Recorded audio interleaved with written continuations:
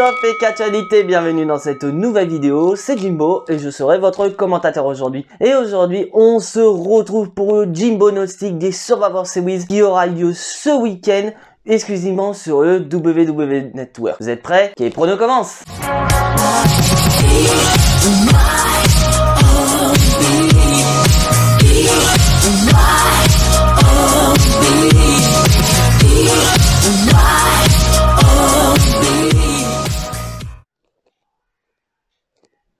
Vous êtes hypé pour les Survivor Series? Ah, pas moi.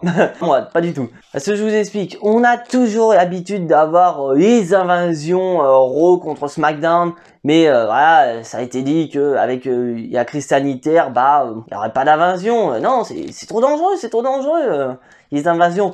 Mais j'aurais tellement voulu, au pire des cas, que les champions viennent se taper dessus, sachant qu'on a eu des, euh, des euh, interactions euh, la semaine dernière avec Drew McIntyre face à Roman Reigns. Donc dites pas non, c'est pas possible. Si si, c'est possible.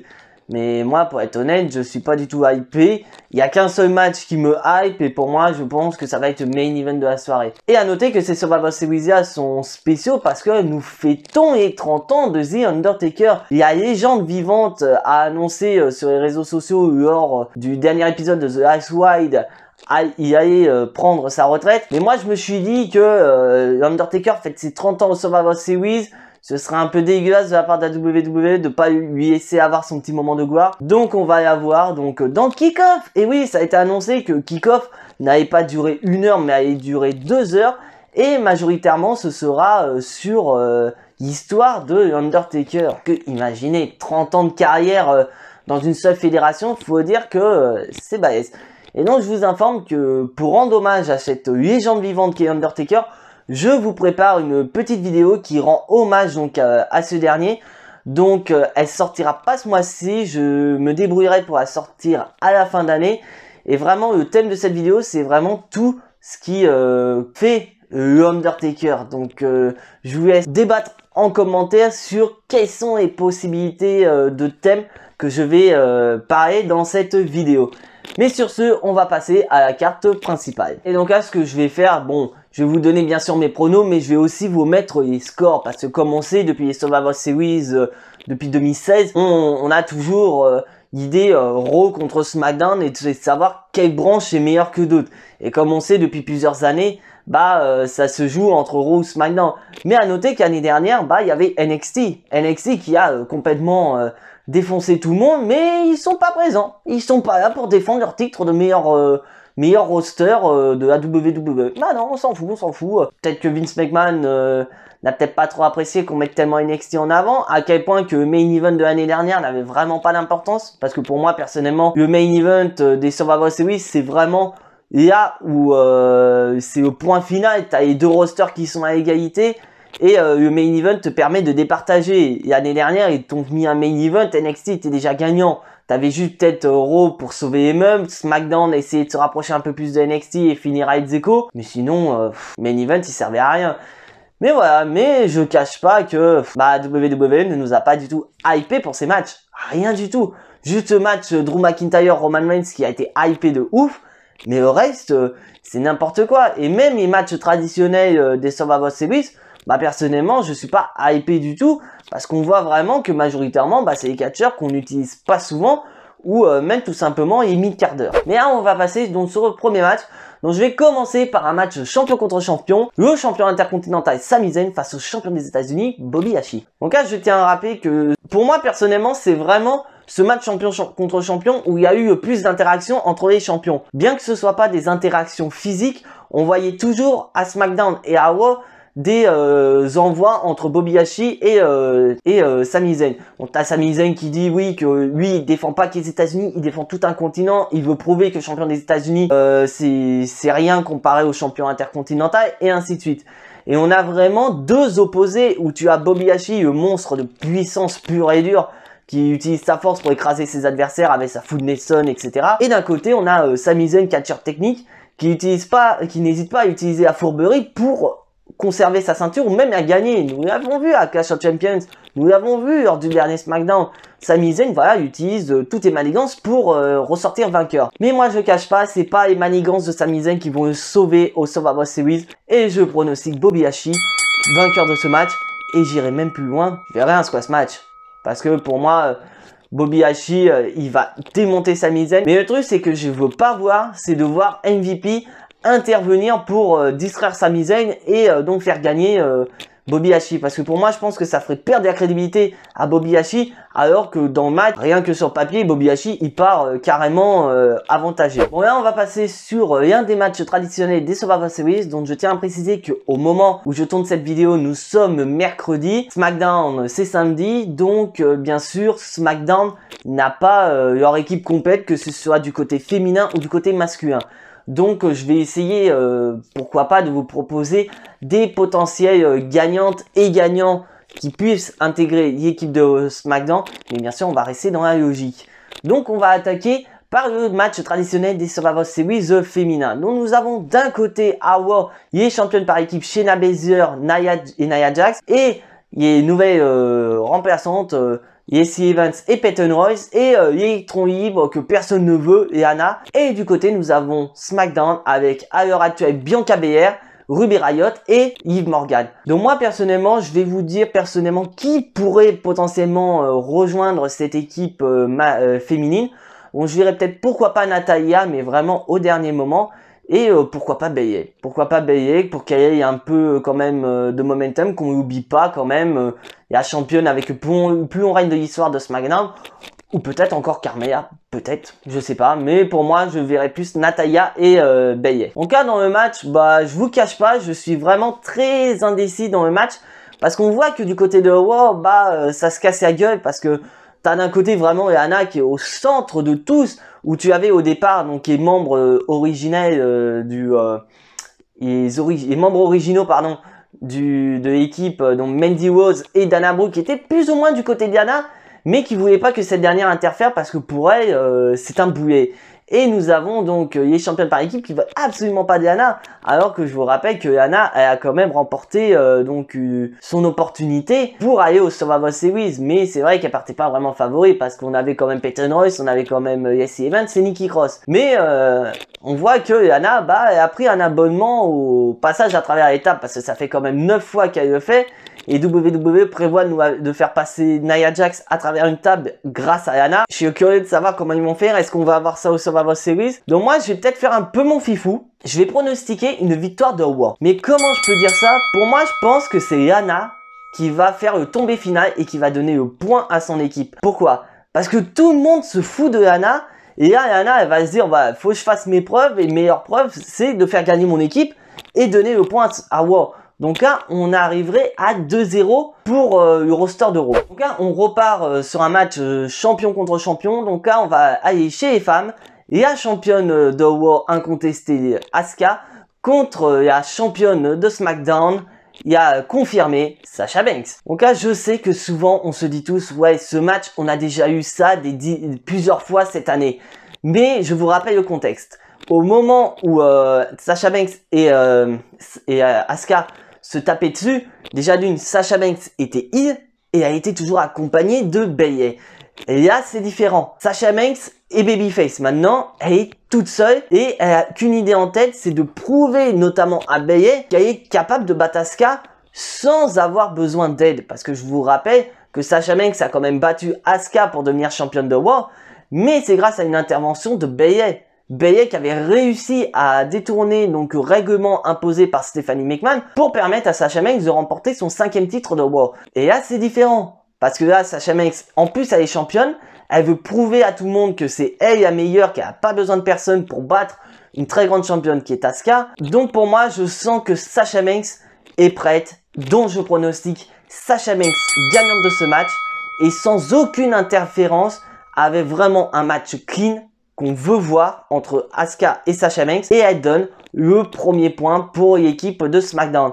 Mais à noter, après match, je sens que Carmea pourrait pourquoi pas euh, venir après, euh, après le match et pourquoi pas envoyer encore son fameux message à Sasha Banks en disant qu'elle est intouchable et que maintenant elle a le titre de SmackDown euh, dans collimateur. Donc là maintenant on passe au match par équipe. Nos champions de War qui ont conservé leur titre à War, New Day, Kofi Kingston et Xavier Woods contre les champions de SmackDown, Angelo Dawkins et Montez Ford et Street Profits. Bah moi personnellement c'est un match en soi je je suis hypé aussi par ce match parce que je trouve ça assez original parce qu'au final New Day et euh, Street Profits se sont envoyés des pics mais pas en tant que heel euh, comme avec Bobby Hashi ou euh, Sami Zayn, mais avec voilà des petits pics assez rigolos où t'as New Day qui ont annoncé les matchs des Survivor Series en étant déguisés en Street Profits. Et euh, les Street Profits voilà ils ont dit voilà c'est bien qu'ils nous ont imités ça prouve qu'ils ont du respect et qu'on reconnaît qu'on est une très grande équipe. Mais on voit que depuis quelques semaines bah les Street Profits tentent de soudoyer Biggie dans le but d'obtenir des informations sur comment vaincre euh, New Day? Et on a vu lors du dernier mois que euh, suite euh, à un nouvel échec, bah on a vu quand Geo Dawkins et Montez Ford ont commencé à devenir sérieux. Donc là, est-ce que cette semaine à SmackDown, ils vont pas devenir sérieux et vraiment soutirer des informations à Biggie par le biais de la force et pourquoi pas avoir un hit turn des Street Profits? Donc là, franchement, s'il y a un hit turn des Street Profits, je serais tenté de les mettre gagnants de ce match, dont je pronostique Street Profits, parce que pour moi, New Day n'a pas forcément besoin euh, d'une victoire contre les Street Profits, ils ont plus rien à prouver, et pour moi, ils devraient plus mettre les Street Profits en avant, sachant que voilà, les Street Profits, on connaît tous leur passé. Ils sont pas catcheurs, de, ils sont catcheurs que depuis peu, comparé au New Day. Et en plus, voilà, ils ont besoin de grosses victoires pour euh, assouvir leur euh, suprématie en tant que grande équipe. Et une victoire au Survivor Series contre la plus grande équipe de tous les temps, pour moi, est nécessaire. Donc, Street Profits, allez-y et vous remettez les compteurs à égalité. Voilà, maintenant, il ne reste plus que deux matchs et on va attaquer le match traditionnel des Survivor Series masculins avec équipe de War, avec euh, le pseudo-capitaine AJ Styles, Kissy, Riddle,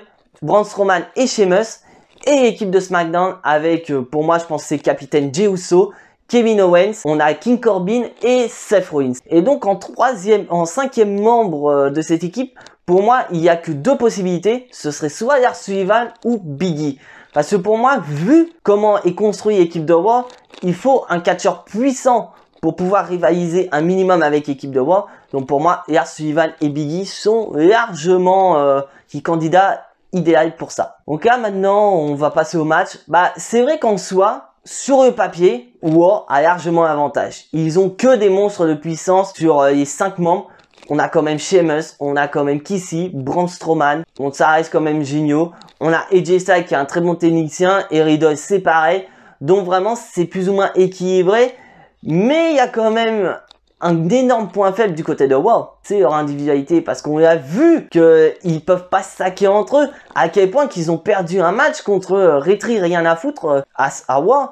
Donc c'est vraiment, il euh, y a un problème. Parce que perdre face à Rétribution, et J-Styles t'as intérêt à remanier tes troupes, parce que là t'es ma partie mon vieux. Et on voit du côté de Smiler, il n'y a pas eu de réelle altercation, parce qu'on voit vraiment qu'ils sont vraiment à droite à gauche, parce qu'on a, bon, Jey Uso qui a eu un petit moment avec Kevin Owens parce que Kevin Owens a sorti 2-3 blagues, ils ont vu ça comme un manque de respect. Nous avons Seth Rollins qui est euh, du côté euh, des Rey Mysterio. Il a, il a fini sa rivalité. Vendredi, il affronte euh, Murphy. Donc on voit vraiment que SmackDown ils en ont rien à foutre.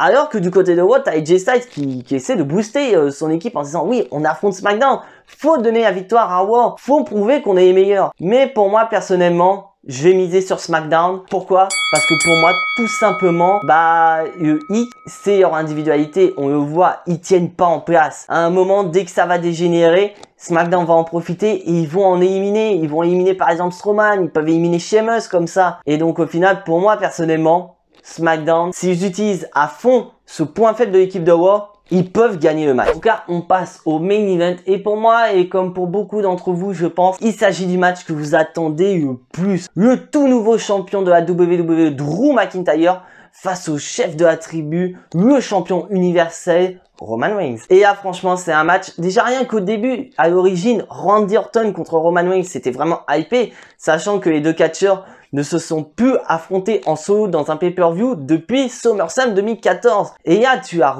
euh, tu as Drew McIntyre la semaine dernière qui est arrivé à SmackDown, qui veut affronter Roman Reigns, mais Roman Reigns lui dit, tant que t'as pas de ceinture, ne, t'avise pas de venir me voir. Et là, euh, Drew McIntyre bat Randy Orton pour devenir champion de la WWE. Donc là, il peut aller toquer chez Roman Reigns euh, au Survivor Series et peut-être pourquoi pas vendredi faire une apparition en disant à Roman Reigns, tu vois, maintenant j'ai ma ceinture, je suis prêt pour t'affronter au Survivor Series. Et franchement, quand tu te dis qu'il y a à peu près, ouais, un an, l'année dernière à WrestleMania, on n'était pas hypé pour ce match. Et il y a un an plus tard, on est euh, sur le match le plus hypé des Survivor Series de cette année. Franchement, il y a eu du chemin. Et franchement, c'est une affiche de rêve. Nous avons le top babyface de la compagnie face au top heel de la compagnie. Et franchement, j'ai eu du mal à me décider parce que franchement, les deux sont excellents. Mais j'ai envie de miser sur une victoire de Drew McIntyre. Donc je pronostique Drew McIntyre vainqueur de ce match. Et selon vous, est-ce que Miz va cacher Samaet Parce que je vous rappelle que du côté de Raw, il continue à euh, plus ou moins voilà euh, dire euh, quel jour on est, quel jour on est. Et on se rapproche petit à petit de la date où il y a Kashin Samaet il y a de ça plusieurs années face à Randy Orton. Et donc pourquoi pas que le match entre Drew McIntyre et Roman Reigns soit tellement intense que Drew McIntyre soit out, le Miz qui Kashin ou pourquoi pas tout simplement un autre élément qui vient attaquer Drew McIntyre. Vous voyez de qui je parle? Je parle peut-être de Sheamus. Sheamus qui peut peut-être bien attaquer euh, Drew McIntyre le Miz qui cash in, le devient champion. Mais pour moi, personnellement, je pense pas que Miz va cash in Samaet. Et donc, si je calcule bien, nous sommes à 3 partout. Nous sommes à 3 partout, c'est une égalité parfaite. Donc là, selon vous, est-ce que la WWE peut nous planifier un autre match pour, pourquoi pas, départager? Parce que là, vraiment, on est, euh, si on suit mes pronostics, on est à 3 partout pour les deux équipes. Donc est-ce que euh, on va arrêter là sur un score nul ou euh, tout simplement bah j'aurais peut-être faux sur certains matchs et au final bah on aura Raw ou SmackDown qui seront gagnants de ce match. Affaire à suivre. Je vous laisse en débattre dans les commentaires et me donner vos pronostics et donc le score que vous donneriez au Survivor Series du côté de Raw et du côté de SmackDown. Donc voilà, cet épisode du Jimbo Gnostic et Prono de Jimbo est officiellement terminé. Si tu n'es pas abonné à la chaîne, je t'invite à t'y abonner, à lâcher le pouce bleu qui fait plaisir à la chaîne et activer la petite cloche pour être notifié des prochaines vidéos. Et comme on est dans la semaine de spécial Survivor Series, dimanche soir, on aura deux lives sur la chaîne. La première à 21h où ce sera un live kick-off où on va parler des top et flops de la semaine et parler de votre niveau de hype pour les Survivor Series et parler aussi de vos pronostics.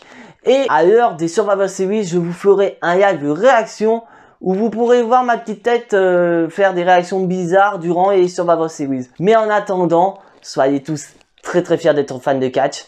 C'était Jimbo, je vous fais des bisous et à la prochaine